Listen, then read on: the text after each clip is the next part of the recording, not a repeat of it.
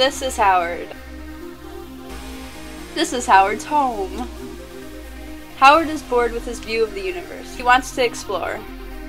This aluminum frame will support Howard's new tank. The yellow plastic parts are 3D printed motor mounts. These are Mecanum wheels. The vector addition that governs the motion of these wheels is complicated, but it is worth it. They will let Howard drive in eight different directions. We are controlling the motors with old FRC talons. They will receive signals from the GPIO pins on our Raspberry Pi. The talons connect to the Pi with servo cables. This touchscreen will allow us to see what the camera sees and let us interact with the robot. Our Pi is attached to the back of the touchscreen. It is connected to the talons and the USB camera. The motors are powered by a 12 volt FTC battery from Rev Robotics. The Raspberry Pi, the camera, and the touch display are powered by a 5 volt cell phone backup battery. On the side of the frame are two switches. These connect the batteries to the rest of the system. After getting through these books, we were ready to start bringing Howard's ride to life. With a few lines of code, we were able to access the camera.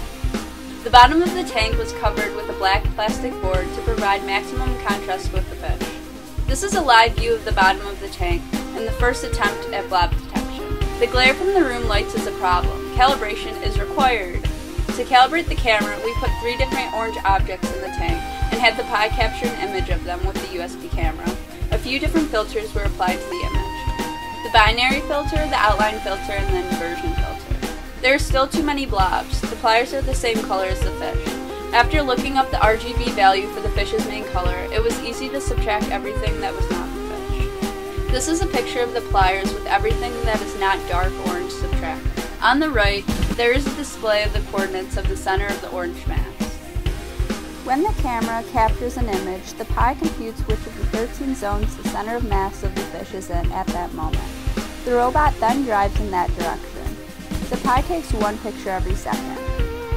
The next step was to learn how to interact with the touchscreen. This program registers the coordinates of a touch or a right mouse click, and draws a white dot on the screen at the coordinates of the click. This drawing is the control system for Howard. If you touch the green square, you give Howard control. Touching the red button takes control away from Howard. All of the code for each piece of the project had to be integrated together into one loop. To get everything we need on the screen at once is complicated. First, we bring in the three live images. A zone reference is drawn over the first live image. The second image is replaced with just orange view. The last image is covered up with touch controls. A couple last minute adjustments and then, after 300 hours of work, Howard is free! Electric Mayhem is going to Pittsburgh. Howard is making the trip in a cookie jar.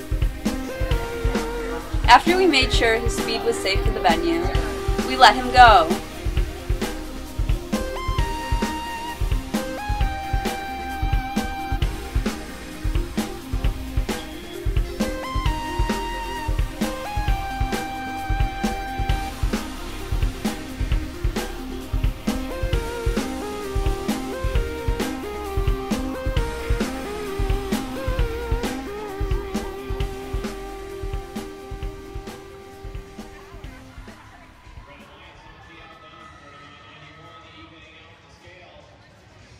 I made a couple more adjustments to lessen the delay between when the picture is taken and when the wheels react.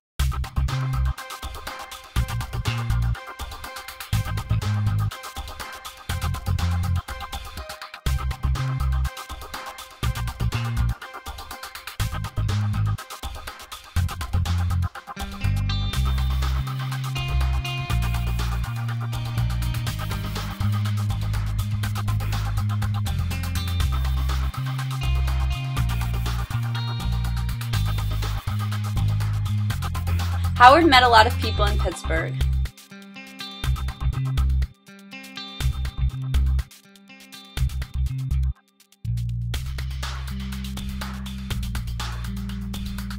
Howard gained 114 followers in Pittsburgh. And he made some friends!